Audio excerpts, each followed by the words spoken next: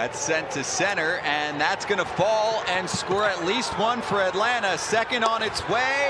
Head first slide. Ozuna's in there. Adrianza scores two for the Braves. Make it 3 0.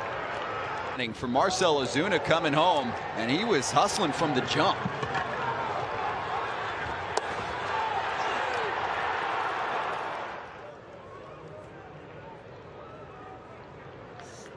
Yeah, say something here. Just being fundamental, it's easy from the booth, but that that's kind of on Yan Gomes.